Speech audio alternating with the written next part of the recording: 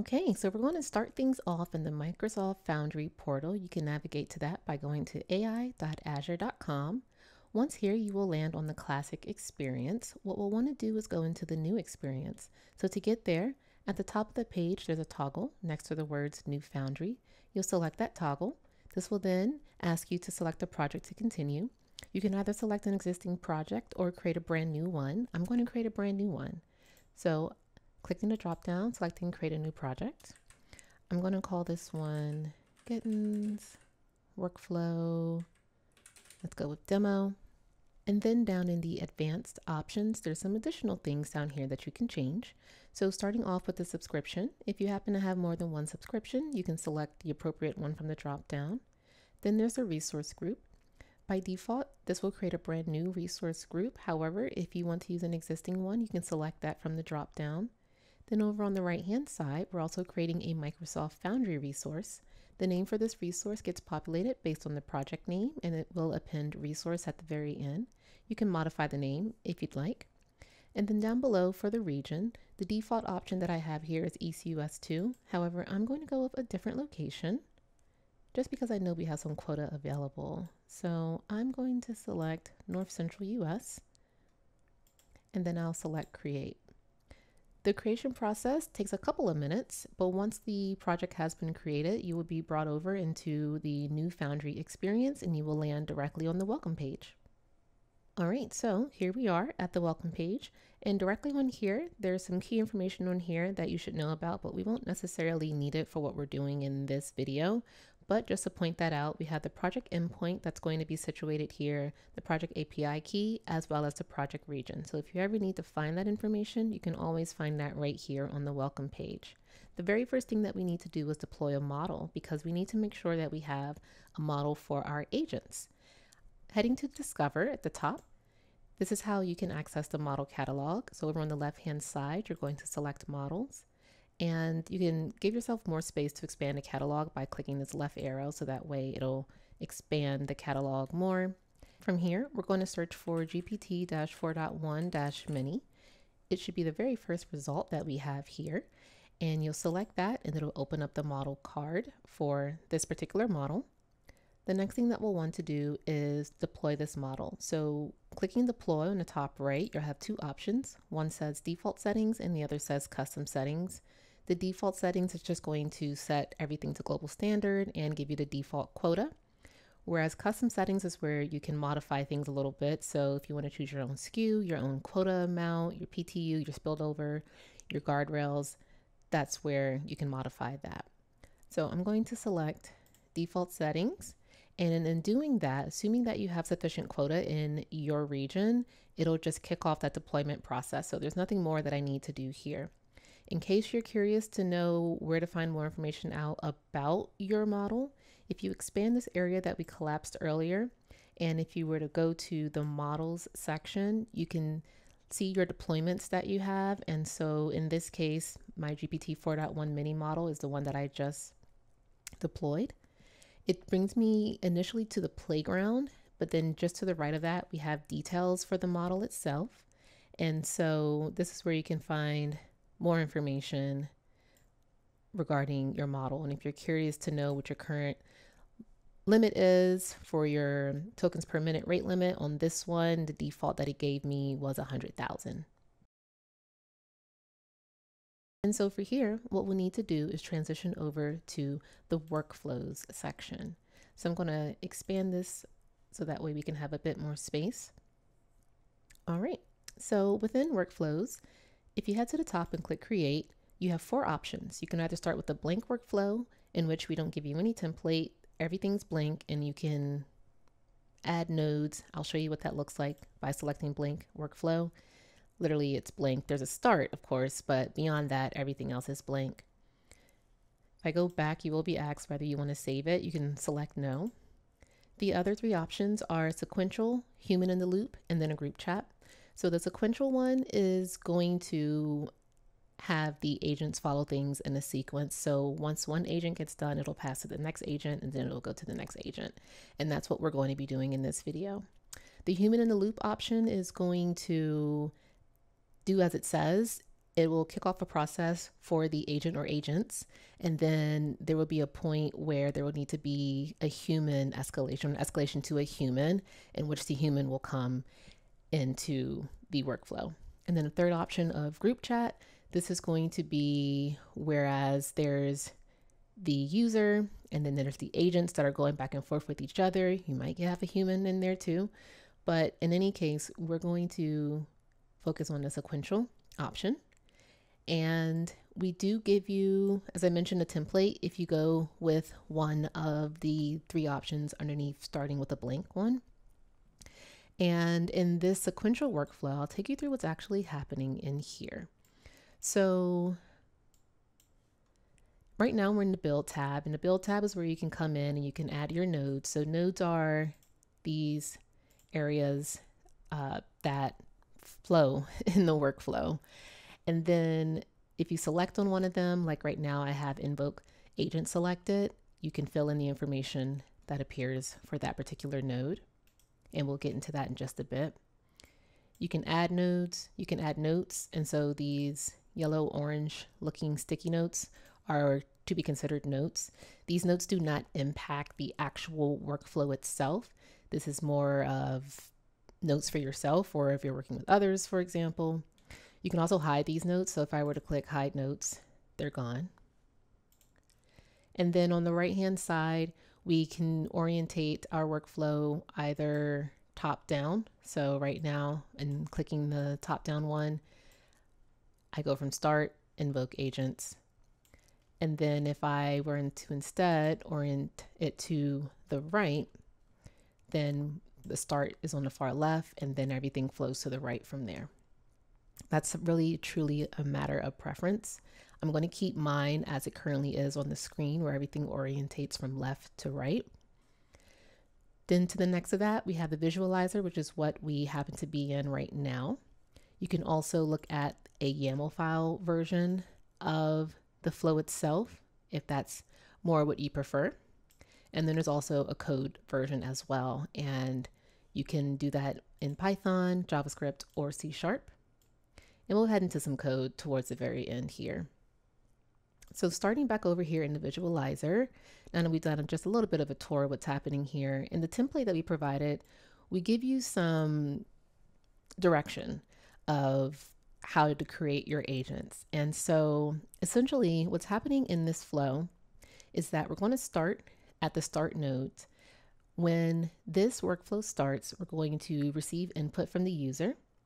And then from there, after we get the input from the user, the first agent that we have in this invoke agent node will be invoked. And then from there, whatever output comes from that agent is going to flow over into the second agent that we assign as the invoke agent. And then the output from that agent is going to flow to the final invoke agent that we have specified. So this particular sequential flow has three different agents. And if we follow the template as we have it here, I'll show you exactly what that looks like in reality. So the first note we have here is to create a marketing analyst agent with the following instructions. And these instructions just tell it to some marketing analysts. And so what we'll do is click on the node itself. As I mentioned, you can edit information in here. At the very top, we have the agent ID. And then just below that, where you can select an agent. If you have an agent already created, then you can select that agent. Otherwise, you can create a brand new agent here from this screen. We'll give this a name. I think this one was called Marketing Analyst. And then we'll click Create. And then from here, we get a smaller version of the agent creation steps that are also in the Foundry portal, but we have it brought here into our workflow feature. And what's really great about workflow is that you don't have to use the same model for each agent. You can use different models for different agents, and that might be super helpful based on whatever the task is that's assigned to that particular agent. So maybe for that one, Mini works really great for this analyst task, but then maybe I want GPT 5.1 for the copywriter task, for example. I'm going to keep everything consistent and just use 4.1 Mini. So for these instructions, I, I, I copied what I have here in this note. I'm just going to paste that into there. If you want, you can provide tools at this step for your agent. So you can add files, for example, you can add a knowledge base if you want to add memory or any guardrails. And then at the very bottom, you can assign what the next action is going to be. And in this case, the next action is to go to the invoke agent that's immediately to the right of it. Then if you scroll back towards the top, everything we've done so far has been in the details tab. If you go to the right for the action settings, this is now going to be super helpful because this is what we use to identify what happens to the messages that go into the agent and what comes out of the agent. So the input message that's going to be given to this invoke message is going to be the last message that was input for this workflow. And so in this case, that last message is actually going to be the very first prompt that gets submitted by the user when this workflow starts. So that's what the input is that it's going to get. Just below it, there's a toggle for automatically including the agent response as part of the workflow. So you're going to keep that toggled on or enabled. And then just below that, what we want to do is save the agent output message. So we want to save this message to being a local dot latest message. And so this latest message variable is going to be very helpful as we pass the output along from each agent from one agent to the other. And you'll better see this in action once we start this flow up. And then from there, the next action, as I mentioned, is to invoke the agent. So this, we're completely done. Just to recap on what we've done here so far, we created a brand new marketing analyst agent. We gave it the same instructions that we have in the note. And then in the action settings, we didn't click anything. I just took you through what's in here. So then you'll click done. Once you click done, you'll notice that that select an agent to invoke warning has gone away. Now for the next one, it's a marketing copywriter. I'm going to copy all the instructions we have here, following the same thing that we just did. We're going to create a new agent. This one's called marketing copywriter. And then I'll click create. And then here in the details tab, again, keeping the model as it is, adding the instructions, and then clicking done. And then finally, we have the marketing editor.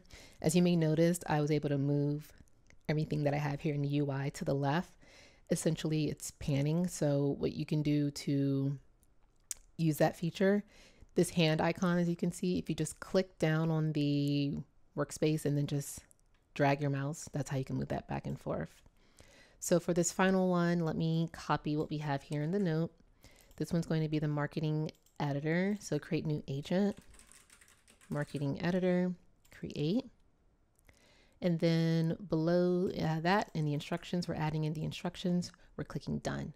So we now have the basic template that we provide all put together. I just want to show you what you can expect to get as your output if you're using this sequential workflow. So from here, I'm going to click save. And then you need to give your workflow a name. So the workflow name in this case, I'll do Gittens demo and I'll save that. And then now we can actually preview this. And so you may have been wondering, well, how do I chat with the agents in this workflow? You have to save everything first, and then this preview button will become enabled. So over on the right hand side in preview, we get a chat box. And so because this workflow is for a marketing agent, you can submit a prompt like create a tweet about the future of large language models. So I'll go ahead and submit that. And then what's cool is that you can see in the visualization the flow of things. So as each agent does its thing, we get the corresponding output. And so right now, if I scroll to the top, the marketing analyst gave us one tweet and the copy writer agent then took that and evolved it into something that it felt was appropriate. And then the editor took what the marketing copywriter agent gave as its output and it revised it one more time. And then that was our final output that we got, which is the output from the marketing editor. So from here, we can get more advanced beyond what we have in this workflow. And the way that we could get a little bit more advanced is by adding things like if statements, for example. You can make your agents a bit more complex by giving them tools, for example. So that way we can actually invoke tools for the agents to use as they are going through their workflow. And that is exactly what we're about to go do. So to exit from this preview, you can click the X button there at the top. That was at the top right. And what I want to do is expand this left menu on the left and go to agents because if you recall, although you can create your agents over in the workflows, you can create them here within this agent section of the Foundry portal. And that's what I'm going to do next. I'm actually going to get rid of the agents that I don't need just to keep things clean and tidy. So for the marketing analyst, I'm going to click the three dots at the top right and select delete agent. To delete these agents, you're going to have to pass in the name of the agent itself and then click delete. And then we're going to do the same thing for the copywriter one, delete agent. And then finally for the marketing editor one, we'll delete that agent too. Oops, this one should say editor. Okay, perfect. So we'll click delete. Thank you.